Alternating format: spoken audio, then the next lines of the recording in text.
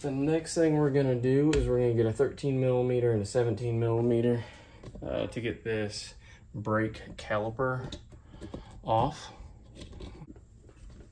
So right back here, we have a 13 millimeter here, top and bottom, and you can hold on to it with a 17 millimeter uh, right there.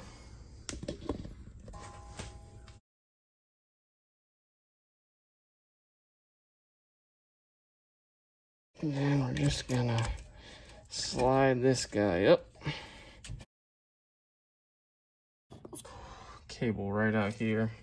Just got a little plastic clip. Just pop that out. Just be careful you don't break it so that you can pop it back in.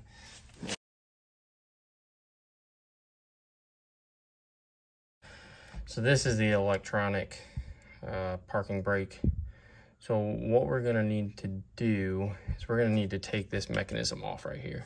Uh, there's two T30 uh, Torx bit screws that will take off. This assembly will remove it. And then inside there's a seven millimeter Allen wrench. And what we're gonna do is rotate that uh, clockwise. And that's gonna take it out of that service mode so that we can then compress this piston back uh, and then we can get the, once we change the, the pads and the rotor, then it'll all fit back together. Okay, so we got our T30, uh, but first we got this little bracket. It's a little red bracket on top. We got a little pin, um, a little pin right here. We gotta push this red bracket back. So now it's back, that pin is gone.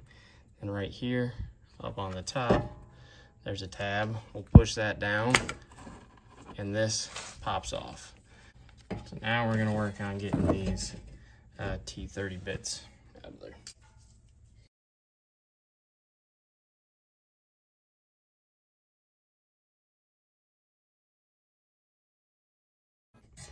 Okay, now we gotta just keep track of the orientation of this. And this, um, I just pull it off with my hands.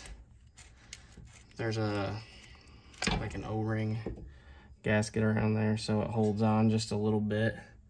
The inside, it's just a gear, the motor. And then inside of here, this is where we're gonna need, this is where we're gonna need that Allen wrench. So this will turn uh, clockwise with a seven millimeter Allen.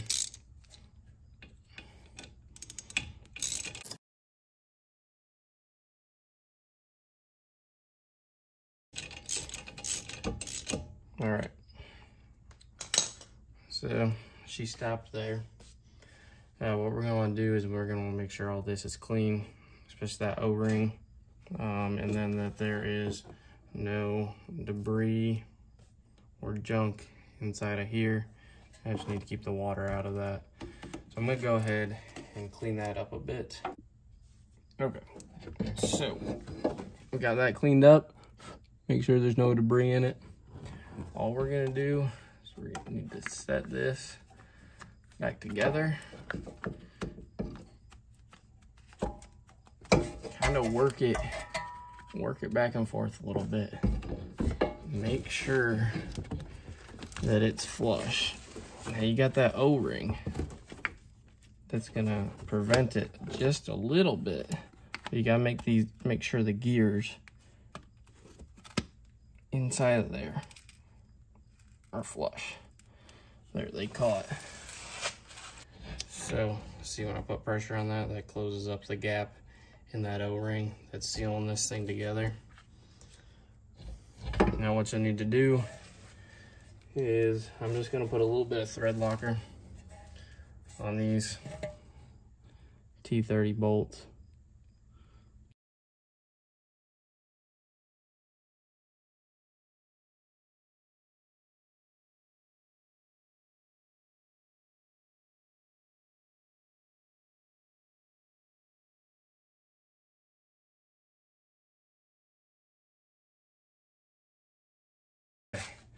So that is back together. If you have um, something to uh, compress your brakes back together, that's great. Like, I mean, all I've got is I'm, I'm just using a C-clamp. Um, that'll help squeeze this back together, which I'll show you. You're gonna wanna put it on this uh, bolt right here, this T30 bolt, and this boot right here. You're gonna wanna squeeze these together. Some of you guys might have a spreader, and that's great. Those work better.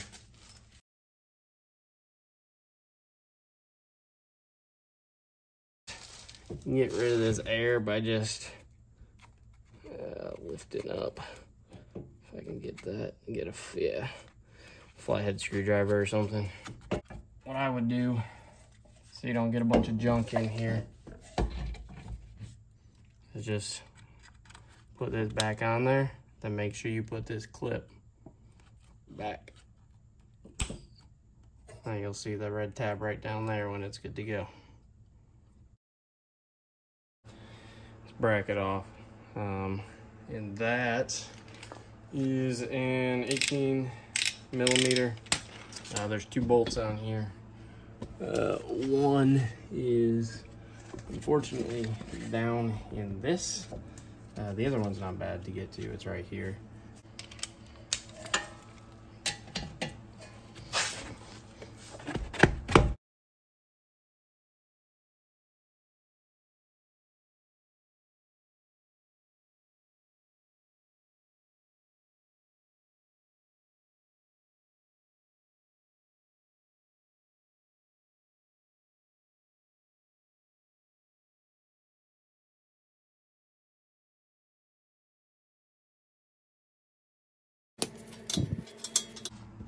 There, right there, you can see where that bolt goes.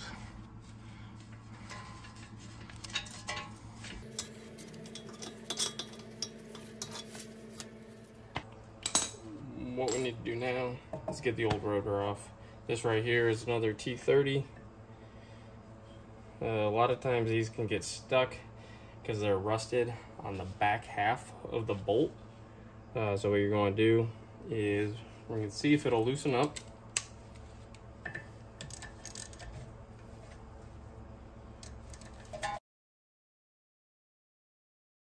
Okay, so she loosens up and she gets tight. And that's where you gotta be careful because these T30s will strip out. Um, they're not built for too much, too much torque.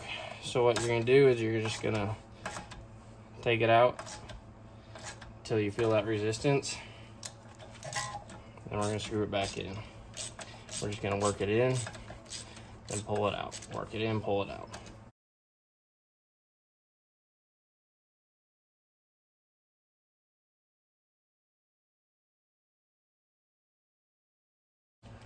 Right there.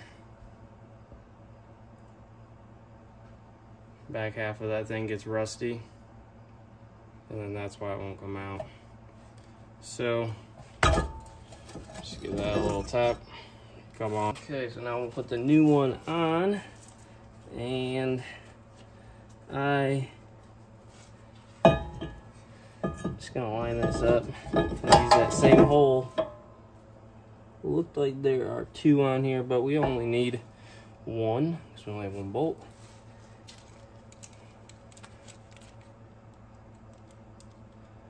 Want the one that's all cleaned out already. All we're gonna do is screw this back in.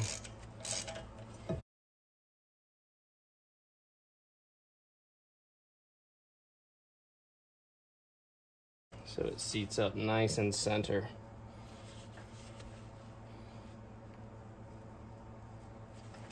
Okay. Before we put the new bracket on, we're gonna clean this up a bit with uh, some brake parts cleaner and a wire brush. Take the old brackets off.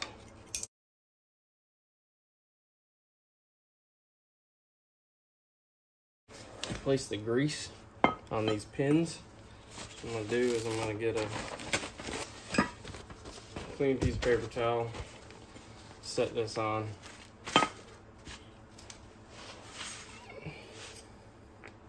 Pull these pins out and they got a little rubber boot that goes over them. And what we need to do, we need to make sure that this boot goes back on the same way. We're gonna take off all this old grease, paper towel, clean it up.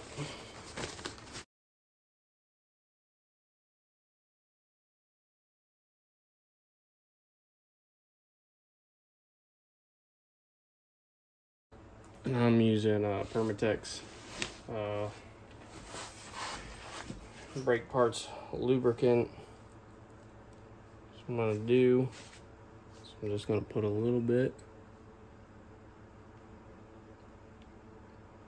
down this pin. We're gonna put it in, just kind of spin around a little bit in there. Make sure you're getting that grease all worked in. Sure there's no dry looking parts on there.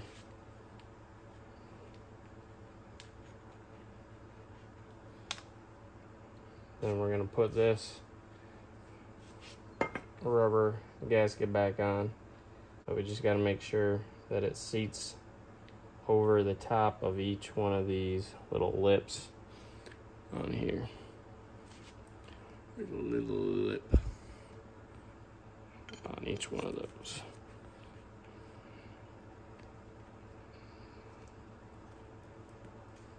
Now we'll just do the same thing for the other side.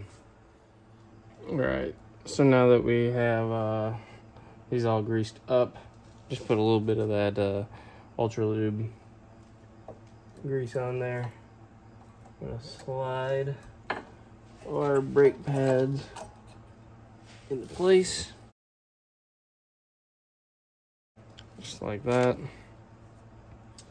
And then we will bring our brake caliper back down.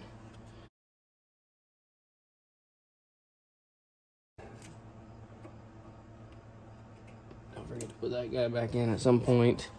We're gonna get our 13 millimeter bolts and then get this other one lined up.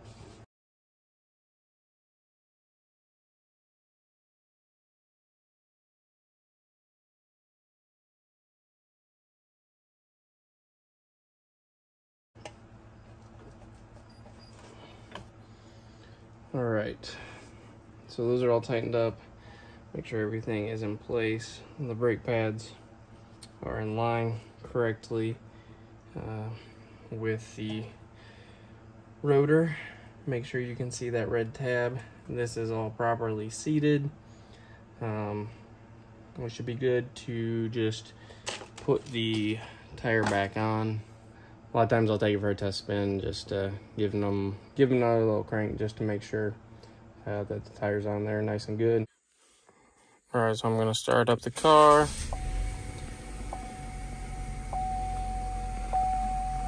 And then this is the last step you need to make sure you do. So you're gonna hold the brake down, you're gonna press the parking brake.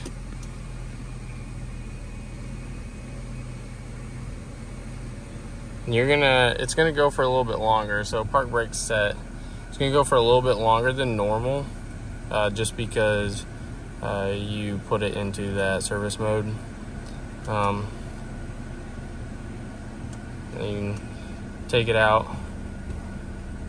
Make sure you pump the brake several times until it firms up before you take it out for a drive. Just make sure the parking brake does engage. It says park brake set. So everything's back working. Release that and then take it out for a test drive.